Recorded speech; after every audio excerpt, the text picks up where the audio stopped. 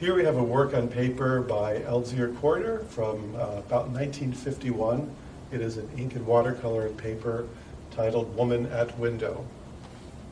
Cortor was a painter and master printmaker. He was African American and he was best known for his depictions of African American women.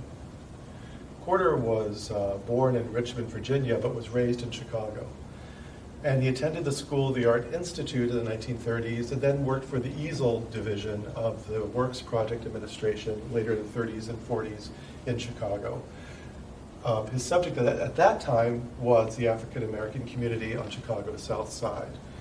Cortor was also instrumental in the founding of the South Side Community Art Center, which is still running today and remains one of the oldest running art centers in the country.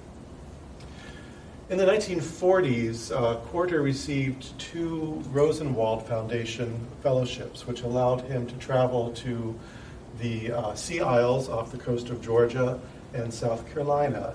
Uh, and there he encountered uh, the Gullah people, which uh, is uh, communities of African American inhabitants who retained remnants of, of um, African language and life ways uh, folkways that were uh, derived from uh, Africa. And this was a really important encounter to him. Uh, for him, it was a uh, the encountering of the contemporary African American experience of uh, being an African American in this country during the 1940s and 50s, and also an encounter with his history, the history of African Americans, still alive and still uh, vital part of that uh, living tradition. And this influenced much of his later work.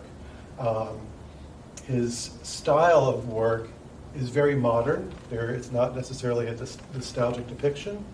Um, he uses a very strong graphic sense of creating uh, of the, the, geometry of the space and of the lines of the woman to accentuate her strength and her beauty.